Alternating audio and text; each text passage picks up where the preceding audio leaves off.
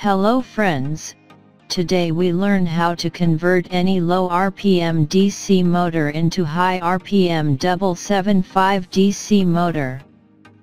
Here we use three same company DC motor. First motor rewind with 22 SWG wire, second motor rewind with 26 SWG wire, and third motor leave it with 32 SWG wire. Now we run it with 4 volt power.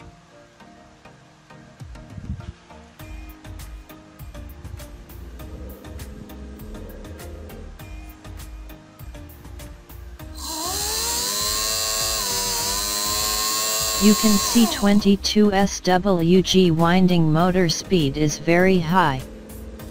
Mean if we use thick wire for winding then we get low RPM, and if we use fat wire for winding then we get high RPM of any DC motor.